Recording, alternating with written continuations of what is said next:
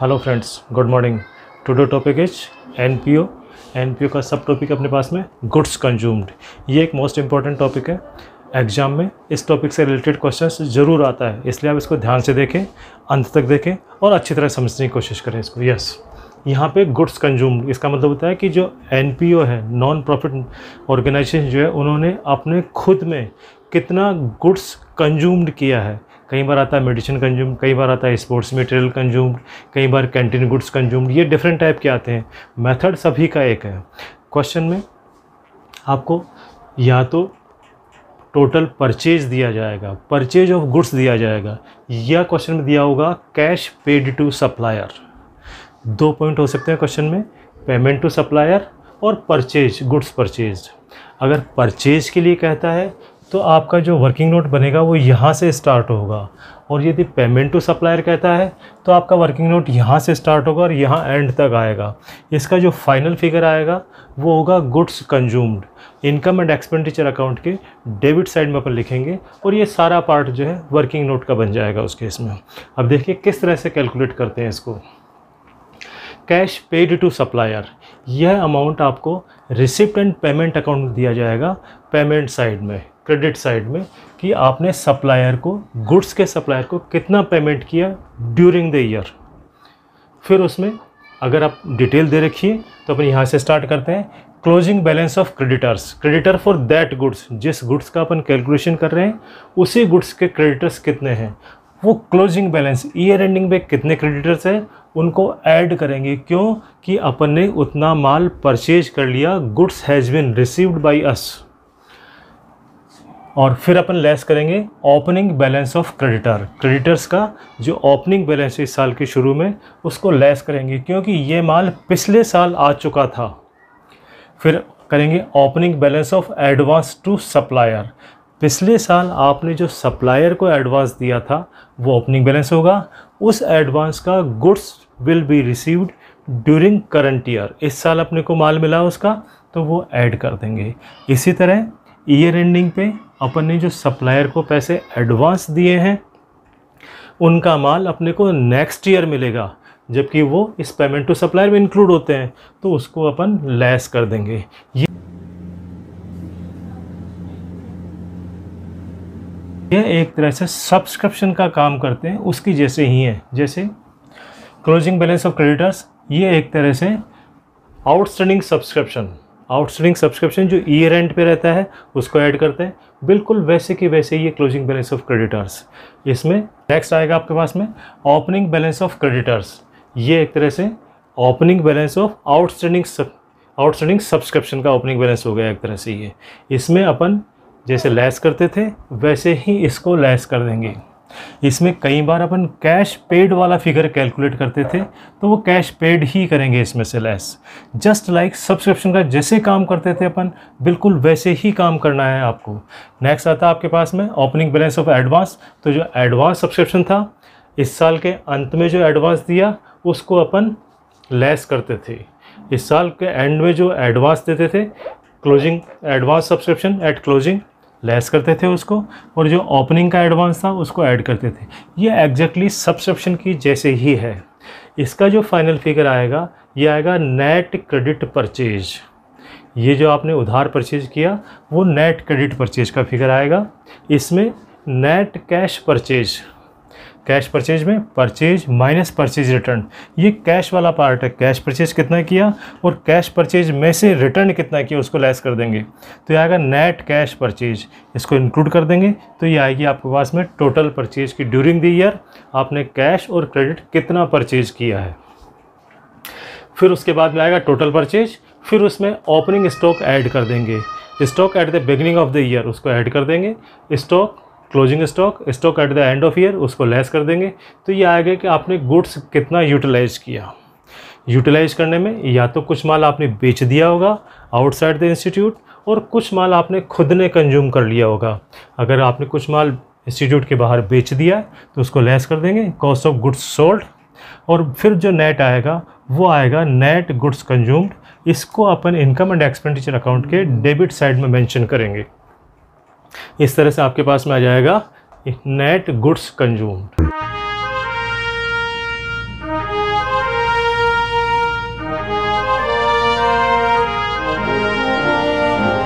ये सपन करते हैं। Question number twenty one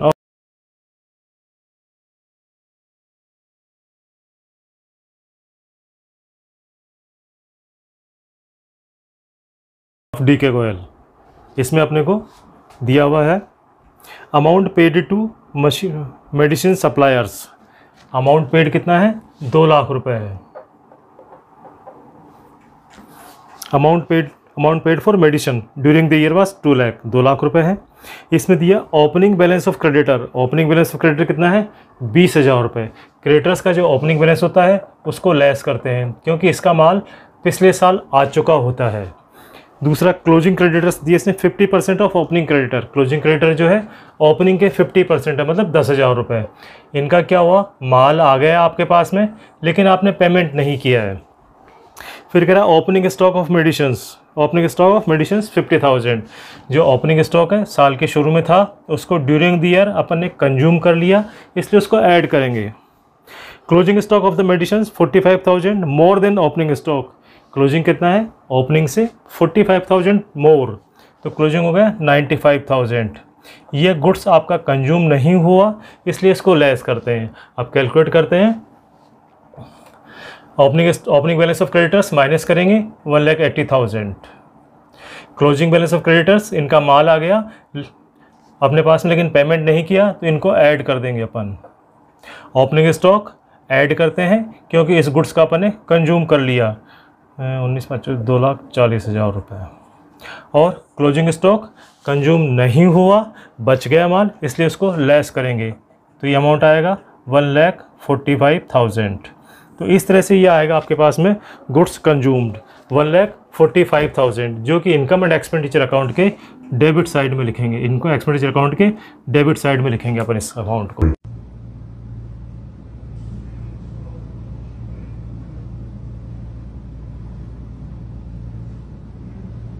अब अपन करते हैं question number twenty three of D K Goyal question number twenty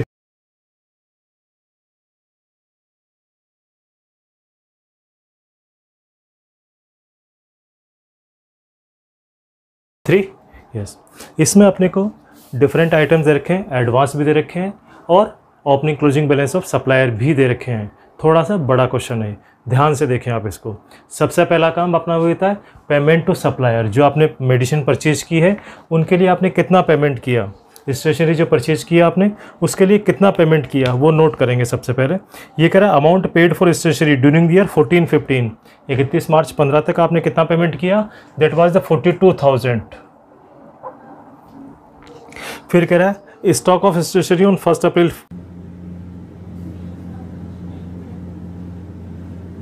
first April 14 opening balance stock of stationery सात हज़ार रुपये जो है, वो ओपनिंग स्टॉक ये सेवन थाउज़ेंड अपन ने ओपनिंग स्टॉक मेंशन कर दिया। फिर कह रहा है creditors for stationery on first April 14 creditors for stationery on first April एक अप्रैल को opening balance of creditors four thousand opening balance of creditors four thousand advance paid to advance paid for stationery carried forward on first April fourteen opening में आपने जो advance payment किया है, वो है six thousand opening balance of advance to supplier six thousand ये add होंगे, क्योंकि पिछले साल जो एडवांस दिया था, उसका मटेरियल आपको इस साल मिलेगा, इसलिए उसको ऐड करेंगे. Stock of stationery on thirty first March fifteen इस साल के ईयर एंडिंग पे.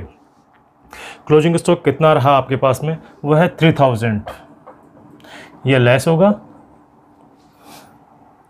फिर आपके पास क्या creditors for stationery on thirty first March eighteen thirty first March fifteen इस साल के आखिर में जो क्रेडिटर्स हैं क्लोजिंग स्टॉक क्रेडिटर्स आपके पास में एट थाउज़ेंड के। ये आपने प्लस करेंगे इसको एट थाउज़ेंड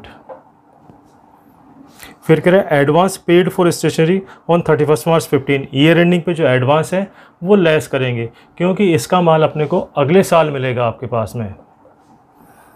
और पेमेंट टू सप्लायर हो गया आपके पास में। देखिए कैसे और ऐड और कैसे लेस करते हैं। ओपनिंग बैलेंस ऑफ़ सप्लायर जो क्रेडिटर्स थे, उनका आपने जो पेमेंट किया, उसका माल पिछले साल आ चुका था और इसलिए पिछले साल ही आपने कंज्यूम कर लिया था। इसलिए इसको लेस कर रहे हैं अपन। क्लोजिंग बैलेंस ऑफ़ सप्लायर्स इनका माल आ चुका अपने पास में, लेकिन इनको पेमेंट नहीं किया, इसलिए इनको ऐड कर रहे हैं अपने पास। अपन गुड्स कंज्यूम निकाल रहे हैं, इसलिए इनको ऐड कर दिया। Opening balance of advance supplier इसका पेमेंट अपन ने पिछले साल किया था। माल इस साल आया goods receive during this year इसलिए इसको ऐड करेंगे, क्योंकि ये गुड्स इस साल कंज्यूम हुआ है। इसी ईयर एंडिंग पे अपन ने एडवांस जो पेमेंट किया है, उसका माल नेक्स्ट ईयर आएगा। उसका कंजप्शन नेक्स्ट ईयर होगा, इसलिए अपन ने इसको लेस किया है। यस ऐड लेस करेंगे तो कितना आएगा? 42 का। Thirty eight thousand plus add करेंगे फोर्टी सिक्स थाउज़ेंड इसमें से प्लस सिक्स थाउज़ेंड करेंगे fifty two thousand and fifteen hundred less कर देंगे तो आएगा फिफ्टी थाउज़ेंड फाइव हंड्रेड अड़तीस चार बयालीस, अड़तीस चार छियालीस छियासी बावन बावन अब ये ओपनिंग स्टॉक है, ये ओपनिंग स्टॉक था, इसका अपने ड्यूरिंग द ईयर कंज्यूम किया, इसलिए इसको ऐड कर देंगे अपन। Fifty seven five double zero और जो क्लोजिंग स्टॉक रहा है, इसका अपन ने कंजप्शन नहीं किया इस साल, बच गया माल, इसलिए उसको लेस कर देंगे तो आ जाएँगे fifty four five double zero यह आपका आएगा गुड्स कंज्यूम्ड इस तरह से अपन ने कैलकुलेट किया गुड्स कंज्यूम्ड इसको अपन इनकम एंड एक्सपेंडिचर अकाउंट के डेबिट साइड में दिखाएँगे। देखिए आपने